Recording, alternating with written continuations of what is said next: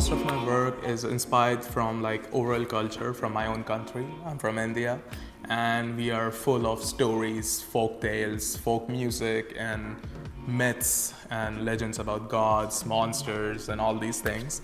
So growing up I've been like really obsessed with that. So all of my projects start from somewhere with this idea of mysticism and magic. With my photography and my work, all I try to do is relive the stories that I've heard during my childhood. I want people to experience the mysticism, the feeling of being surreal, being larger than life, and it's an experience to look at it, talk about it, interact with it.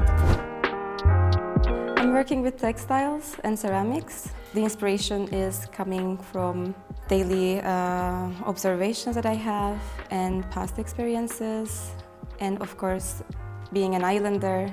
Uh, but more specifically, I can say that Timothy Morton's hyperobject term uh, meaning a phenomenon so vast that it is beyond human comprehension my teacher suggested me this All Art is Ecological book by Timothy Morton and I came across to this term and I was like, okay, it's fast fashion, this is what I'm doing, I'm making garments, I have a passion for this and I'm changing my habits towards like what I'm buying or wearing because as I research, I came across to this uh, information that every day, uh, every time we wash, domestically wash our clothes, um, these microfibers are mixing the waterways and even when we're wearing these clothes, they are floating and we're breathing and they're adding up to microplastics and really affecting our health. And for me, this is a hyper object. I made the dress that I'm wearing. Here are uh, a bunch of threads that I used even on the sides of this dress. And I like that it looks like a seaweed, maybe. I want the audience to feel the ocean through my installation. It is really important for me to give a glimpse of it or just a feeling of it.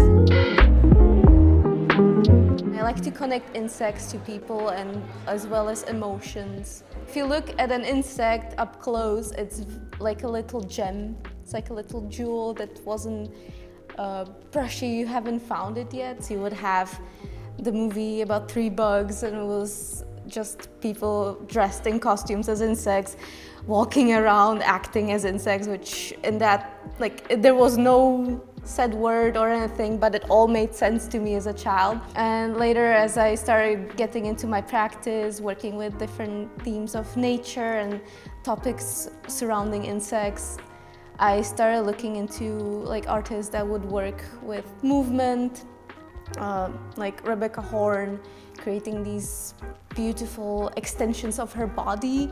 It's a lot about like this imaginative world that I like to work with. And I think in a way that as a child and even as an adult, I connected to insects a lot on a personal basis. Um, and these days I collect them, observe them, get fascinated by them, and a lot of times inspired by these different patterns, colors, movements and shapes that they bring into the world. My work is generally about exploring liminal spaces, this kind of in-between place that we're all living in between the physical and the digital, and the virtual and the non-virtual, and the, the weirdness that exists in that space that we're all like in constantly without thinking about it. Surrealism was a big influence on me for a while. These days, more internet art, like the early internet artists like Olia Lialina, um, and land art is a big influence for me, like Robert Smithson, I love him. I started collecting cassette tapes recently, um, not like studio produced cassette tapes, but like people's mixtapes. And the other day I was walking home and like on a ledge of the building next to my building were like six cassette tapes just sitting there. Um, and I kind of just happen on things like that and that's how things start. Often it's things I see online, usually like old forgotten forums and websites or text threads that I think are interesting and I feel like I need to do something about always try to get people to physically interact with my work because I want to create experiences. I'm not excited by things that are just on a wall or making things that are just to be shown on a wall. Um, the artists that have inspired me the most throughout this process are, are Oliver Laric and Josh Keyes. I think Oliver Laric has worked pretty nicely with the concept of hybridity, not only on his subjects, but also with his materials. He works with sculpture as well as 3D printing. And Josh Keyes has um, a really cool way to dabble on social commentary with his paintings, such as the ones in which he paints graffiti on icebergs. In my work, I have also been tapping into the idea of hybridity. I've been um, kind of constructing my own contribution to the fossil record by creating these man-made fossils that have human elements to them, such as temporary tattoos that I apply onto clay and piercings.